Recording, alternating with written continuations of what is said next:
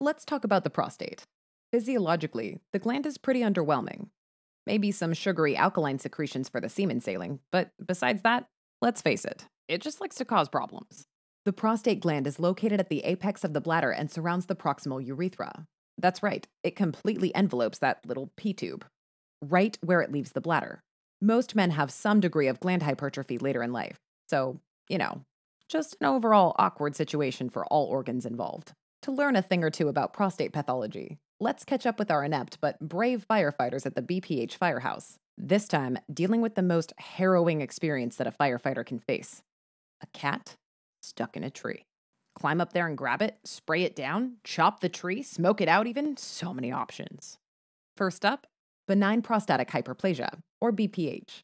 When the gland grows in size and hugs that urethra, just like the rotund fire chief wrapping his girth around that lamppost. BPH is an extremely common condition that becomes more prevalent with increasing age. About 50% of men over 50 and 80% of men over 80. You get the idea.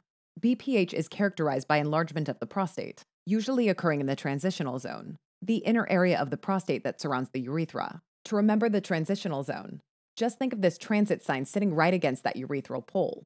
The transitional zone includes the middle and lateral lobes of the prostate, which is emphasized by the midday and late bus times on the sign below.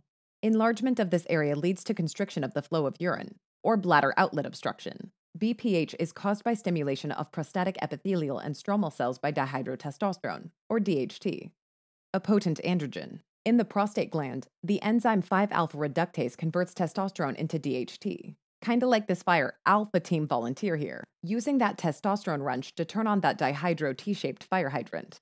DHT works locally to stimulate growth of the gland. This results in an increase in both the glandular components as well as the fibromuscular stroma around the glands. Microscopically, you'll see an increase in the number of glandular epithelial cells and more of that fibrostroma, as well as an increase in the number of stromal smooth muscle cells. Notice that we're talking about hyperplasia here, not hypertrophy. We're increasing cell number. Hyperplasia of glandular epithelial cells is represented by those proliferating glandular looking clovers. And to remind you of smooth muscle cell hyperplasia, we've added some scattered smooth muscle shaped leaves from the tree above. On histology, you'll actually be able to see little hyperplastic nodules, with proliferation of both stromal and epithelial components. Remember, these nodules are microscopic. The prostate will be nice and smooth on gross pathology and on digital rectal exam. Any nodularity or asymmetry of the gland should immediately raise suspicion of cancer. More on that in just a little bit. First, let's talk about BPH symptoms. So, obviously, we're dealing with bladder outlet obstruction. This results in hesitancy, or difficulty starting a stream of urine, weak urinary stream, or dribbling, urgency, that I gotta go feeling, frequency, and nocturia, needing to get up in the night to urinate. See all that water backing up into the kidney tank, dilating that ureteral hose? In a small percentage of patients, chronic untreated BPH can lead to urinary retention with bilateral hydronephrosis which can cause acute kidney injury and even renal failure. Plus, imagine all that stagnant urine. Recurrent urinary tract infections can also occur, though this is rare. A digital rectal exam will demonstrate a smooth, symmetrically enlarged prostate without nodules or tenderness. Just think of this smooth, symmetrically enlarged fire hose over here. Just a training exercise gone horribly wrong.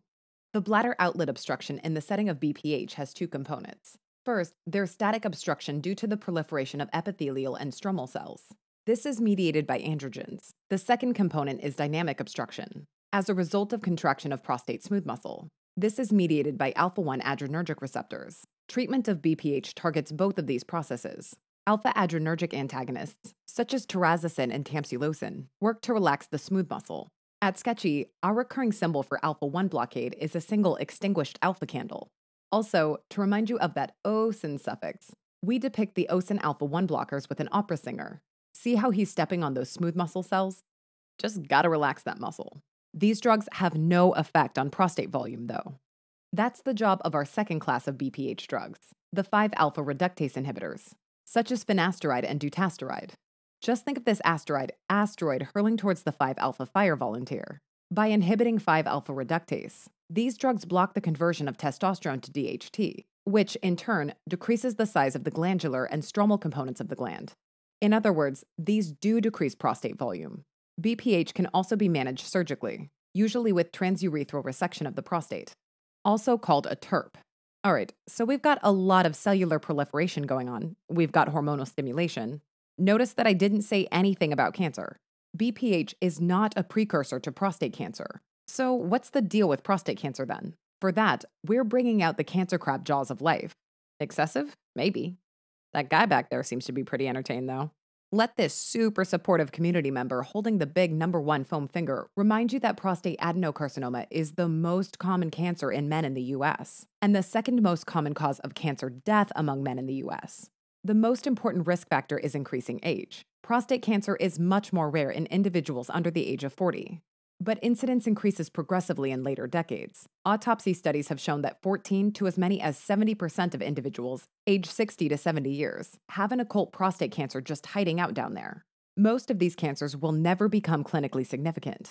Alas, in an age where more people recognize the acronym PSA than the Village People's YMCA, widespread screening for prostate cancer means that many of these occult malignancies are detected, even though they will likely never become clinically meaningful in a patient's lifetime. Besides age, family history of prostate cancer is also an important risk factor, particularly first degree relatives, which is why this prostate superfan has brought along his son to catch a glimpse of the action. Prostate cancer is also more common in black men. Not only that, cancer presents sooner and at a later stage in these individuals. Smoking is also a risk factor, probably in a dose dependent fashion. Notice what isn't a risk factor for prostate cancer benign prostatic hyperplasia, or BPH. Just remember that the word benign is in there. Prostate cancer is often asymptomatic in early phases. It's usually located in the peripheral zone of the prostate in the posterior lobe, away from the urethra. So, a localized tumor rarely causes urinary symptoms. We've emphasized the peripheral zone with peripheral zone tape, cordoning off the scene. We even tied it to a post mailbox to remind you of posterior lobe. The location in the peripheral zone makes tumors more likely to be palpated on digital rectal exam. Asymmetry, palpable nodules, or areas of induration are suggestive of cancer. Just think of this guy palpating the surface of that nodular tree. As he, uh, not really sure what his plan is there. Contrast this with the symmetrically enlarged and firm gland associated with BPH. When prostate cancer does become symptomatic, it usually indicates advanced disease. Extension into the bladder or other nearby structures can cause urinary symptoms similar to BPH. But remember, it's usually asymptomatic in early stages of disease, isolated to the periphery of that gland, away from the urethra. If your patient has frequency, urgency, and or nocturia, that's probably the BPH talking. Prostate cancer spreads to bone early, especially the vertebrae, via direct spread through the lymphatics and veins.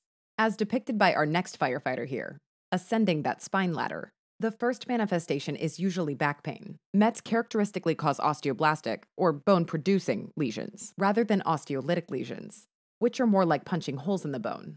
Osteoblastic METs are highlighted by the osteobuilder here, rushing to the firefighter's aid. All right, time for a little PSA about PSA. PSA is produced by the epithelium of the prostate and can be detected at higher levels in the blood due to many conditions such as BPH, prostatitis, normal sexual activity, and even prostate cancer. But it is not specific. Nevertheless, PSA is still used by many clinicians to screen for prostate cancer, although more cancers are found this way. It's unclear if the benefits of early detection outweigh the morbidity of working up and treating these often non life threatening occult malignancies. Although the use of PSA for screening is controversial, it's clearly an excellent tumor marker in men with established diagnosis of prostate cancer. PSA is a very sensitive marker for recurrent prostate cancer in these patients, on histology, prostate cancer usually demonstrates well defined glands. This is an adenocarcinoma after all. The glands are usually crowded together, with cells exhibiting darker cytoplasm and large nuclei. Treatment usually includes surgical removal of the prostate, radiation therapy, and, in some cases, treatment to deprive the prostate of androgens. One way to starve that prostate of those sweet, sweet androgens is with continuous administration of a long acting GnRH analog, such as leuprolide. Just think of the continuous, long lasting service that Gardner's Hardware has provided the community. You see, gonadotropin releasing hormone, or GnRH, is normally secreted in a pulsatile fashion from the hypothalamus. This stimulates LH and FSH release from the anterior pituitary. LH goes on to stimulate the testes to produce testosterone. Continuous, rather than pulsatile GnRH stimulation, however, inhibits the anterior pituitary, thus leading to less androgen production downstream. Hence the cracked glass in front of the male symbol shaped tools in the window. Well, I know that cat isn't any closer to being saved from that tree, but it's time to bring our story to a close.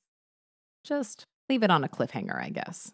All right, time to head upstairs to that big, distended organ feeling all the brunt of that prostate pressure the bladder.